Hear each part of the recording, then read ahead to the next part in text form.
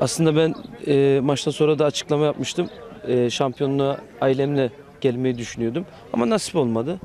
E, buruk bir sevincimiz var. E, hani sevincimiz bir tarafta, hüzünümüz bir tarafta.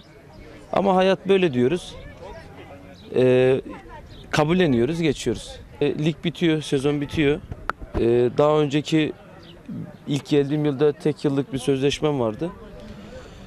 E, sözleşmem bitmeye yakın transfer yasağı da gelmişti ve söz, e, sezon bitmeden ben de masaya oturmaya e, çok masaya oturmak istediler. Özellikle hani ben onlara söylemiş olduğum işte ligi bir bitirelim ondan sonra oturur konuşuruz diye.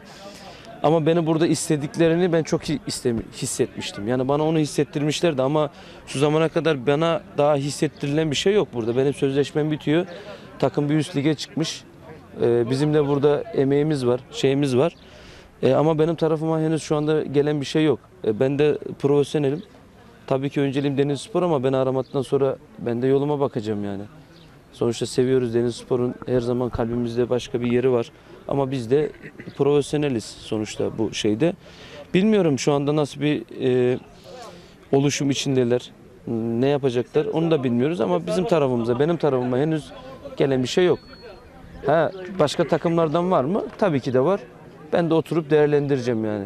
Sonuçta e, zaman geçiyor, yaş da geçiyor. Ona göre oturup kararlar vermemiz lazım. Ha, beni isterler istemezler benim için önemli değil. E, burada iyi anılmak benim için önemliydi. Buraya verdiğim hizmetler bellidir. İyi anılsam yeter benim için.